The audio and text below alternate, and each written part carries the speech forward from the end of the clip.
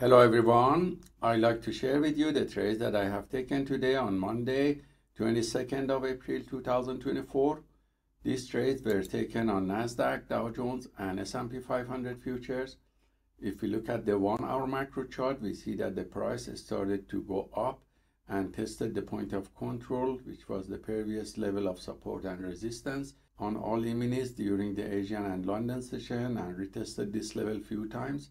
And if we look at the 10 minute macro chart, we see that the price after New York market opening slightly went up and then the sellers came back and pushed the price lower.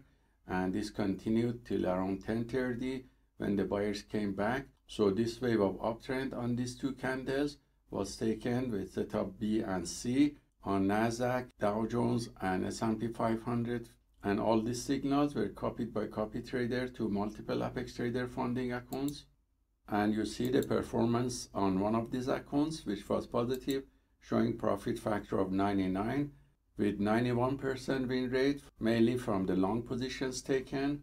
This sell short position was taken by mistake by ATM and the average win to loss ratio was 14 the largest winning trade was $300 and the largest losing trade was only $9 so hope this trade taken by the PAAT system for fast scalping is useful for you and let us know if you have any questions. Have a wonderful day.